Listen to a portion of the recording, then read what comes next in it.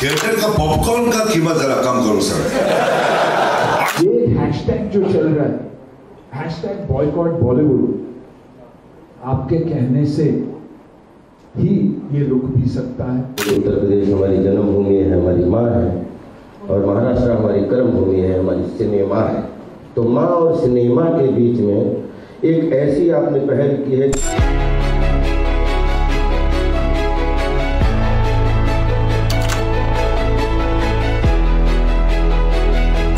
Welcome to Mumbai कभी भी घर का खाना चाहिए तो हुक्म करना मिल जाएगा। बस बाकी कुछ बड़े लोग आए हैं, सब बात अच्छे कर रहे हैं मुझे अच्छा लगा। फ़िल्म बंधु सबको प्रणाम। सुभाष जी आपके लिए मैं यहाँ बैठा हूँ। आपने मुझे लाया। थैंक यू और बाकी जितने भी सीनियर हैं यहाँ सबको बहुत बहुत प्यार। थिएटर का पॉपकॉर्न का कीमत जरा कम करो सर आठ सौ रुपये देते पॉपकॉर्न का। ये क्या बात हुई तो उत्तर प्रदेश में जब सिनेमा हॉल बनाएँगे, ऐसा उनको दंड रखना कि इतना नहीं खा सकते भाई। खाओ, मगर पेट ना पड़ जाए। खाओ और खिलाओ। मगर इतना कैसे खा रहे सब में अब यार सब थिएटरों में। मुझे लगता है, बराबर ना, आठ सौ रुपये? हाँ तो सर, बस उसी पे ध्यान दें तो अंदर आना शुरू कर दे थिएटर में। पिक्चर बनाएँगे, स्टूडियो बनाएँगे, मगर अंदर कौन आएगा? वही आएगा ना, जिसके बेचारा खाया जाए तो ऐसा ना धंधा हो जाए। बाकी आपके परिवार को बहुत बहुत प्यार। आप आए आते रहें। खुशी होती है आपको देखने से। घर वाले पसंद करते हैं आपको। बाकी हमारे सारे मित्र यहाँ आए सब आपको चाहते हैं। खुश रहें कभी कोई ज़रूरत पड़े खाना वाला तो बता दें सर। जय जय। बार बार यही कहना है कि one window clearance one window clearance रहना चाहिए। Protection zero crime zero crime रहना चाहिए, क्योंकि तभी जाकर शूटिंग होती होती भी है और कंफर्टेबल शूटिंग होती है। Third of course education education पे ध्यान सिर्फ़ हम, हमें ये नहीं देखना चाहिए कि हमें एक्टर्स क्रिएट करना है।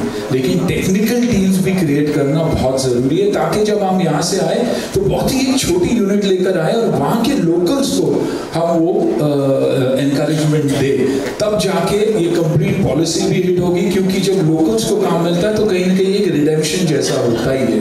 ऑफ़ कोर्स थिएटर्स क्योंकि इवेंचुअली आज अगर हमें तकलीफ़ हो रही है तो कॉस्ट की नहीं सब्सिडी की तकलीफ़ नहीं हो रही है ऑडियंस की तकलीफ़ हो रही है। तो ऑडियंस को वापस थिएटर्स में बुलाना बहुत बहुत ज़रूरी है।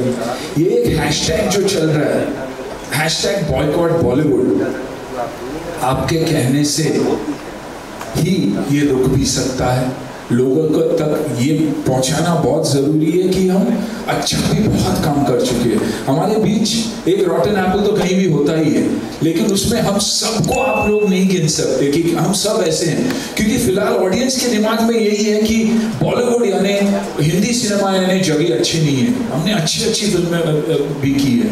मैं बॉर्डर जैसी फ़िल्म में भी था और बाकी काफ़ी अच्छी फ़िल्में में रहा हूँ। तो यही है कि ये जो परसेप्शन हमारा चल रहा है कि हैशटैग बॉयकॉट बॉलीवुड वो हम सबको मिलकर उसे कैसे हटाया जा सकता है? ये जो ट्विटर पे ट्रेंड चलता रहा है, वो कैसे रोका जा सकता है? आई थिंक इस पे अगर ध्यान दे तो डेफिनेटली यूपी जैसे जगह है नहीं हार्टलैंड ऑफ़ हिंदी सिनेमा हमारी ऑडियंस अगर मैं सुनील शेट्टी बना तो सिर्फ़ और सिर्फ़ यूपी यूपी के वजह से, उसी फैंस के वजह से फ्राइडे जब थिएटर में लोग भरते थे तो बाकी की इंडिया बोलती थी कि हाँ यार, ये फ़िल्म चलेगी।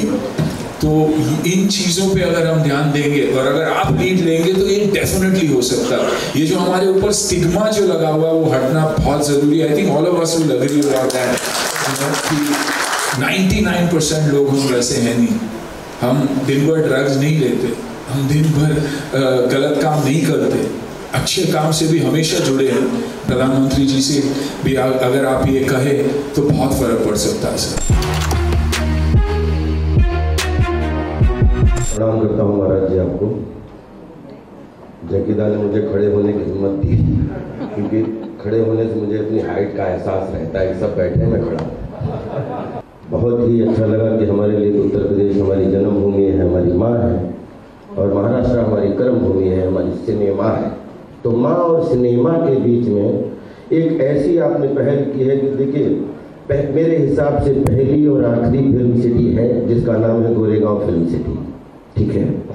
इसकी हज़ारों सब्सिडी है। अगर आपको ये विनती पूर्वक सुझाव अच्छा लगे तो आपके चरणों में ज़रूर रखना चाहूँगा।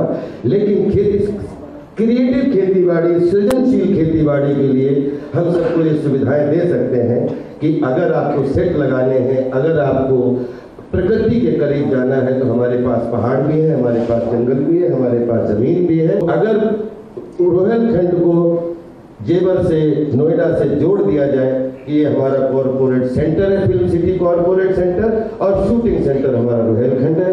तो वो पतंग रोहेलखंड में उड़े उसका राजा आपके हाथ में हो और नोएडा में हो तो आई थिंक बहुत ही शोभा बढ़ जाएगी।